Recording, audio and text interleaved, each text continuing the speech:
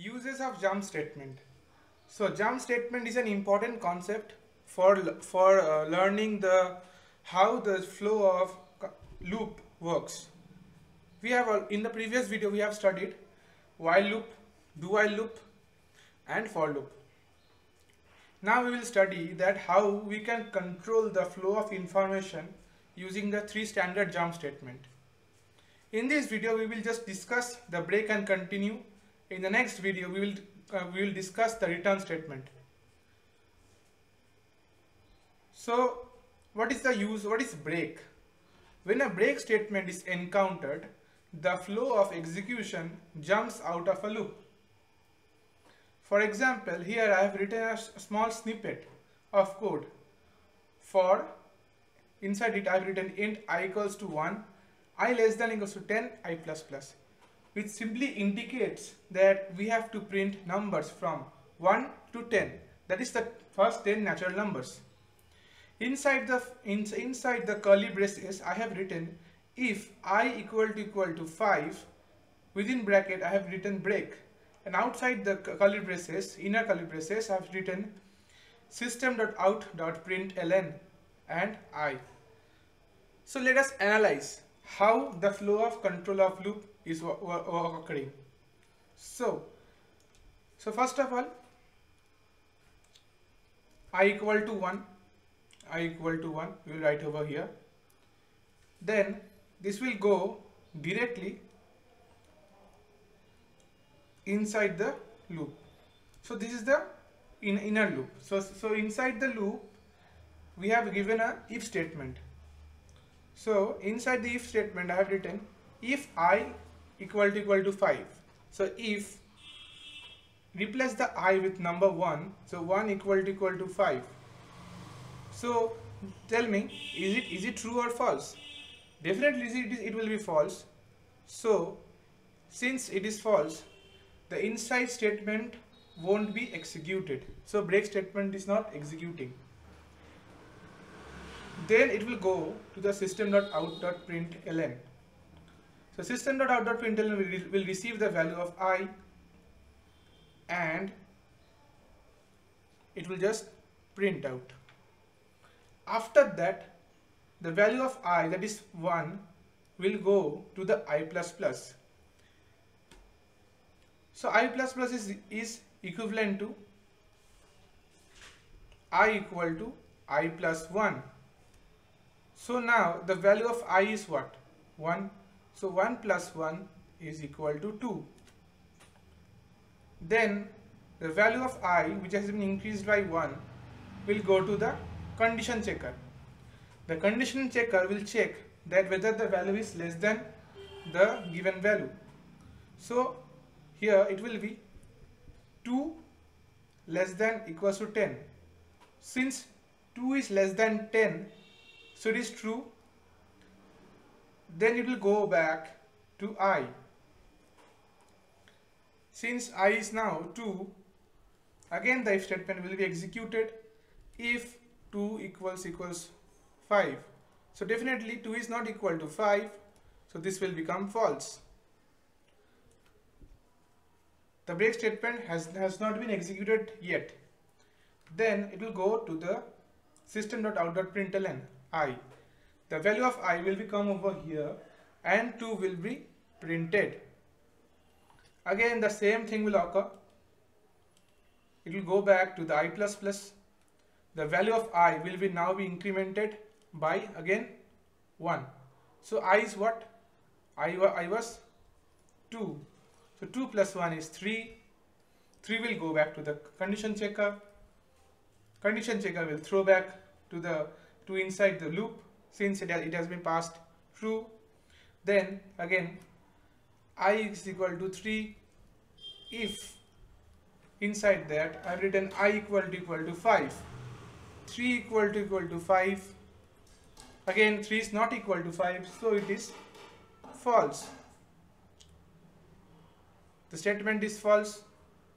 Since it is false again the break statement has not been executed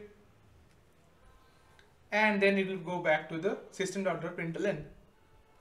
3 will be printed, again i++ plus will be executed. So i plus will be executed. So the value of i will be increased by 1 so last value was 3 so 3 plus 1 is your 4 again 4 is less than 10 so it is true. So i equal to 4 if 4 is equal to equal to 5 so again it is again false. So the value of so value so the break statement again is not executed. So then it will go back to the system dot dot println. The value of i is now 4 4 will be printed. Again this will go back to the i plus plus. So the value of i will be increased by now 5 4 plus 1 is equal to 5 now important thing look over here very carefully 5 is less than 10 definitely true. So i equal to 5 now this statement will execute. Why? Because i is now 5 so if i say that if 5 is equal to equal to 5 so it is true right? Since it is true now inside the if statement i have written break. Since break statement will execute now, the loop will stop immediately over here. It will, it will not go back to the i++. Plus The loop will execute, will stop over here and will go outside this, outside the loop and will just go outside here. So any statement outside the loop will now be executed. So we have understood that the break statement stops the flow of execution of a loop for a given task if the task is being well done or the condition is being matched then only the output then the then only the flow of loop will go will stop and the statement outside the for loop will be executed. So the ultimately the answer will be 1 2 3 4 let us see the program. I've written a program.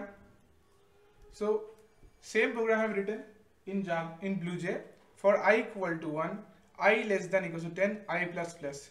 If i equal to equal to 5 break system under println so let us compile this. I have already compiled since it shows that class compiled no syntax error. Now let us right click on this and click on void main. On clicking the void main you are seeing that the answer is 1 2 3 4 so we are seeing that how the break statement is working.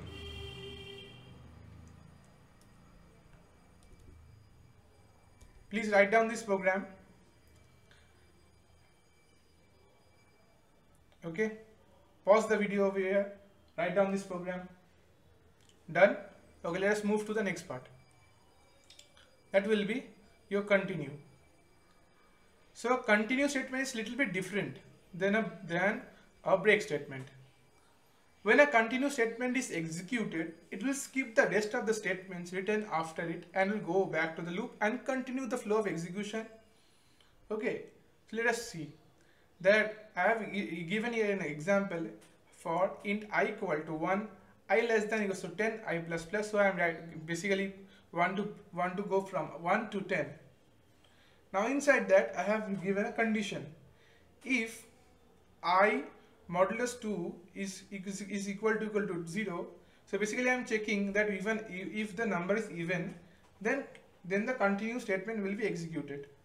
Now you are seeing that okay below the if if statement I have not given any bracket. So always remember that if there is only single statement below the if statement or for loop no bracket shall be used. You can use the brackets it does that, that does not matter but the, the best thing will be that you, you should not use the brackets after if if there is only one statement. So here I have written only continue. After that I have written system.out.println so since I have written only one statement after if so the rest of the part will not be included.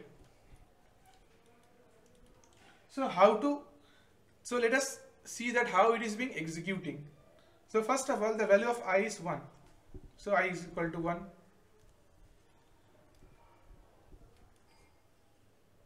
i equal to 1. Then this will go back to the inside the loop. So if 1 modulus 2, So you all know that 1 modulus 2 is equal to equal to is not equal to 0. But you are thinking that how it is being dividing, right? So always remember that in modulus, the right hand side value, if it is is greater than the left hand side value, the right the left hand side value returns. Okay, I, I, will repeat again. In modulus, if the right hand side value of the modulus is greater than the left hand side value, the left hand side value will return. So you are, so this will return 1 and 1 is not equal to equal to 0 so it is false. So the continuous statement is not executed. So we'll go then it will go to the system dot out dot println. So since system dot out dot println is been executed, so one will be printed. After that, the value of i will be incremented by one. So i is equal to two. So i for now i since i plus plus is what i is equal to i plus 1 is a short form so 1 plus 1 is 0 2 so i then it will go back to the condition checker. 2 is less than 10 right? 2 is less than 10 it is true. So so the value of i is now 2 now we will go back to the loop again inside. Now what will happen is that it will go back to the if statement inside the loop. So 2 divided by 2 now say that 2 divided by 2, 2 is what? 2 ones are 2, remainder is 0. Since modulus is used for remainder, so we, we can say that 0 is equal to equal to 0. So it is, so it is true. Now since it is true, the, the statement after the if statement, after the if, that is, that, that is continue. So I just, I just put a bracket so, so that you will, you will differentiate which line is which, which line. So since continuous statement is being ex is executed, what will happen is that you will skip the rest of the part. You will just skip. It will just it will just skip this line and go and go and it and it will go directly back to the for loop. Since this is statement is not being executed, the two will not be printed. Since system out println is not working. Now again the since the value of i has, has gone back to the loop. So the 2 plus 1 is your 3. So i is equal to 3. 3 divided by 2 again is, is equal to 0. Since 3 less than 10 will again work and go and throw back to the i if statement. So 3 modulus 2 is equal to equal to 0, we'll just check. Now do that. So since if you divide 3 divide 3 divide by 2 you will get a remainder of 1 so since 1 is not, not equal to 0 so it is false so the value so since it is false the continuous statement will not be executed and the system.println will execute and will show the value of 3 then it will go jump back to the if i, I plus plus now 3 plus 1 is what? 4 because it, it will hold the last value. 3 plus 1 is equal to 4 and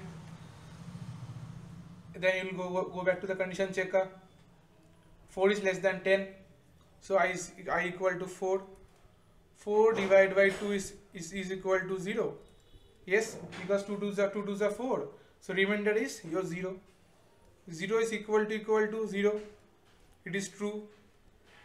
Since it is true again the continue statement is executed at, and it will go directly back to the loop without executing the rest of the part. So 4 will not be executed. Then what will happen?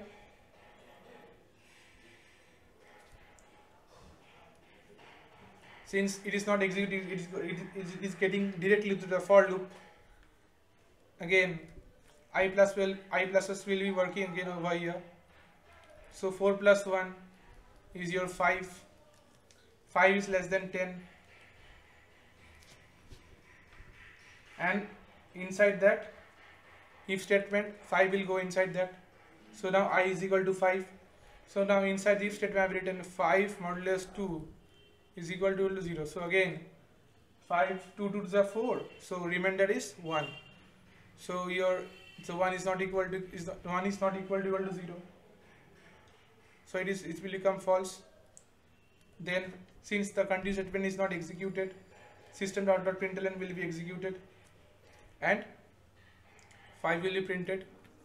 Again the value of 5 will go back to the loop. So i plus 1 so 5 plus 1 is your 6 6 is less than 10 so 6 then again it, will go back inside the if statement. 6 is model 6 is divided by 2 so it will go on and go on until unless we reach we reach up till the value of 10 so again so 6 6 modulus 2 is is is equal to equal to 0 so then continue statement will execute again. System of println will not be executed and it will go directly back to the for loop. Now i is equal to 7 since i plus plus will happen. 7 divided by 2 is again your remainder is 1 1 is 1 equals to 0 is true. So 7 will be printed. Then again I, uh, value of i will be incremented by 1 i is equal to 8 8 divided by 2 is equal to equal to 0 since it is since actually it's actually 0 remainder is 0 so 0 0 is equal to 0 is true.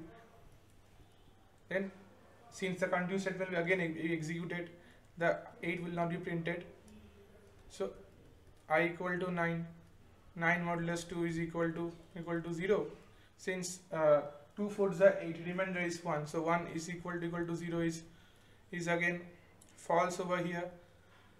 So 9 will be printed since the continuous statement will not be executed. And lastly i is equal to 10 10 divided by 2 is equal to equal to 0 so 0 is equal to equal to 0 it is true then again continuous statement is executed and 10 is not printed. So we are specially seeing that we are getting output of 1, 3, 5, 7, 9. So we are basically obtaining uh, odd numbers from 1 to 10 using a continuous statement. So let us see the program. So this is the program.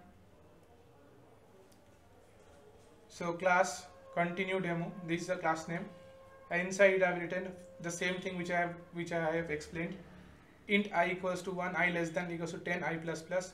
Within that if i divided by 2 uh, equals to 0 continue and system out println so let us run this program. Click on void main. So 13579 will be printed. Hopefully you have understood. So now here there is there is a home task the home task is that you have to write a program to print